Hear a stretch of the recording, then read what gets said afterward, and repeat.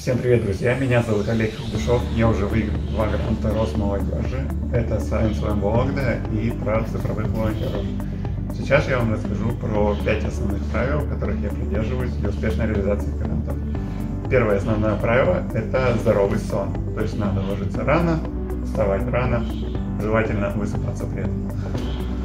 А, вторым правилом я бы выделил а, деление задач, сложных задач на более мелкие мелкие задачи можно делегировать, одному совсем не справиться.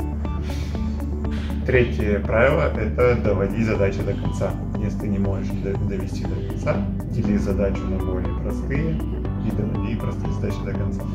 Завершенные задачи не мотивируют на дальнейшее совершение. Они взят на другу. Четвертым правилом я бы выделил визуализацию задач в виде графиков, таблиц, схем. Можно выделять цветами красный, зеленый.